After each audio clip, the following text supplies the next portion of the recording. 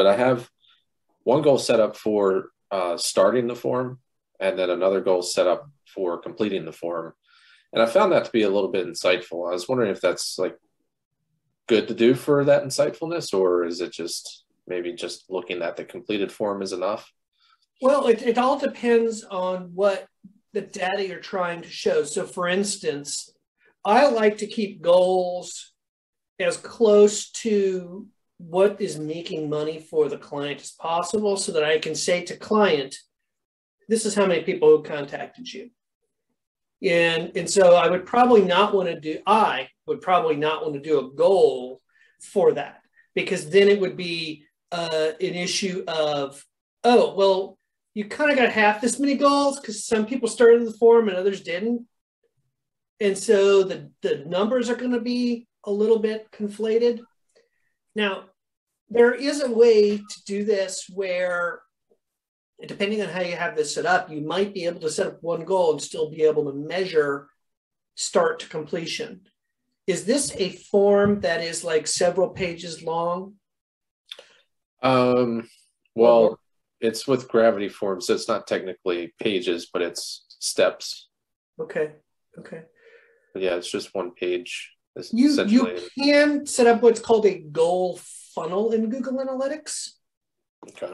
And it will do is allow you to track things and then only count the final submission as the goal.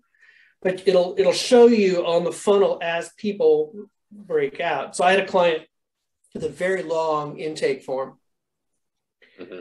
And I was able to set events along the way every time someone hit the next button. And then maybe it wasn't events, maybe it was page views. But the point was, I was able, when the button was hit, it sent something to Google Analytics. And then I was able to put that into the, the, the goal funnel and to be able to say to them, your form is too long. This is how many people you're losing towards the end of the funnel. So in that way, I was able to keep one goal, which was the form was finally submitted. So that way, when I reported the client success or how many customers they might have acquired, I that number was clean. And then I could use the goal funnel to say, okay, separate from that, how are people going through the form? Mm-hmm. That might be something to look at. And you might have to actually create separate pages to do that. Right. But you could, you might be able to hack it by creating a on-click send page view to Google Analytics event that would look like a page view in Google Analytics, although it's not really a page view to the customer.